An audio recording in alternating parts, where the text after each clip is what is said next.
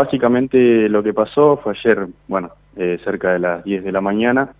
me llama uno de los chicos que trabaja ahí en la carpintería de Alonso, que también cuida animales ahí en un sector eh, que está ahí al lado del, boliche, llamándome, bueno, diciéndome que me presente al boliche, que, que él se había presentado a, darle de comer a los animales que tiene y que vio, vio, bueno, prácticamente el boliche destrozado. Así que, bueno, nada, a eso de las diez y media de la mañana me acerco con uno de mis socios eh, eh, al boliche y cuando llegamos, bueno, vimos lo que más o menos ya sabe eh, mucha gente que se publicó por ahí en las redes, que era, como te dije antes, el boliche destrozado. botellas de vidrio rotas por todos lados, insumos de, de higiene por todo el predio, las mochilas de los baños todas destrozadas, ladrillazo,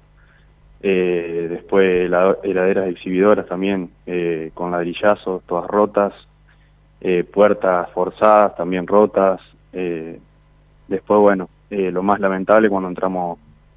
al baño, que hay un espejo de un tamaño considerable, que también estaba roto a botellazos, después matafuegos por todo el predio, vacíos, arriba del techo, prácticamente el boliche dado vuelta. Estamos hablando de, una pérdida económica importantísima. Y sí, lo que hablamos ayer, que bueno, que, hablamos con Rubén Signetti, que es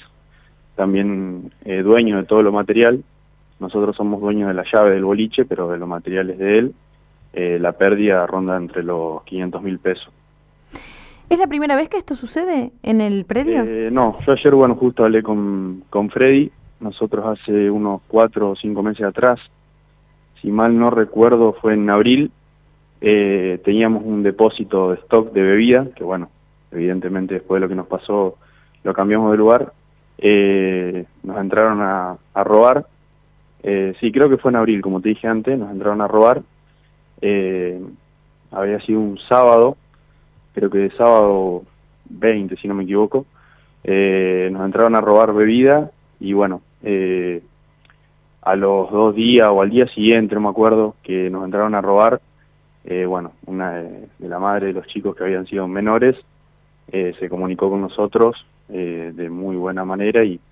y, bueno, nos comentó lo sucedido, nosotros optamos por el diálogo con, con esta gente que nos había entrado a robar, menores, eran aproximadamente unos cinco, y nada, como te dije, optamos por el diálogo y, y dejamos que, quede en la nada, no, no, no quisimos hacer denuncia ni nada, pero bueno, creemos que esta vez eh, se pasó un límite. Eso te iba a preguntar, en esta segunda instancia, ¿se, ¿se realizó la denuncia? ¿Piensan hacerla? Sí, ayer por la tarde, bueno, con uno de mis socios y bueno, hablando también, como te dije antes, con Rubén, que es dueño de lo, de lo material, digamos, del lugar, eh, decidimos hacer la, la denuncia. Eh, es lamentable, ¿no? Que, sucedan estas cosas, sobre todo teniendo en cuenta que eh, es uno de los pocos espacios que, se va a presentar para los jóvenes aquí en nuestra ciudad eh, próximamente y tal vez esta situación retrase o impida el comienzo del boliche bailable. Y sí, es algo que, bueno, que hablamos entre, entre los chicos, que somos tres los, dueños de la llave del boliche, digamos, de Ñuca, eh, están en duda la, reapertura, digamos, de, lo que es verano, y la verdad que sí, es lamentable, porque bueno, el verano pasado que, que fue cuando iniciamos con este proyecto, tuvimos una respuesta eh, súper positiva, tuvimos un montón de mensajes de padres eh, agradeciendo que por ahí se sienten mucho más seguros sabiendo que los chicos están acá en San Carlos en un lugar puntual y no que tienen que viajar a Esperanza, a Galvez, a Coronda, por ahí la ruta le da mucho miedo a, los padres y nada, eh, el verano pasado estando el boliche nuestro todos los sábados por ahí se sentían eh, seguros. Ahora bueno, gracias a Dios en San Carlos eh, con las fiestas que hacemos nosotros, bueno, el Etual, también bueno, fiestas que hace ahí el, el Salva y demás, por ahí hay más movimiento en la noche acá en San Carlos y bueno, eso le da tranquilidad a muchos, a muchos padres. Pero bueno, en el verano por ahí eh, estaba la idea, como te dije antes, de volver y esto eh, lo puede llegar a retrasar o a impedir. Todavía no sabemos bien. La última, Tomás, eh, en cuanto a la respuesta de eh, policía, bueno, seguramente ya están haciendo las tareas investigativas correspondientes. Es, ¿Hay cámaras de seguridad que se puedan constatar en el lugar? Eh, ayer nosotros, bueno, estuvimos pidiendo cámaras a un par de vecinos, también, bueno, después nos comunicamos, cuando hicimos la denuncia, en la policía también nos dijeron que, que en lo que iba el día de hoy se iban a fijar. Pero bueno, otro caso para comentar rápido, que ayer a las 3 de la tarde nos vuelve a llamar el,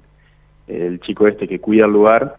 diciendo que, que bueno, que había tres menores de edad eh, tirándole piedra a los animales que, que él tenía. Cuando vamos de nuevo al boliche, eh, que bueno, que nos llamó, fuimos a revisar si no habían seguido rompiendo cosas, que lo habían hecho, habían roto un par de caños más de, de desagüe que le había faltado romper, eh, y unos portafocos, y bueno, cuando fuimos al baño, ellos habían vaciado un matafuego y quedaron todas las huellas de, los pies. Eh, hay una foto que está dando vueltas, eh, que bueno, que evidentemente son, son de calce, no sé, 40, 40, perdón, soy yo, hay una foto que está mi pie y el, la huella de ellos y son 37, 38, así que tienen entre 10 y 12 años los que están eh, haciendo esta, esta dañinada, por así decirlo.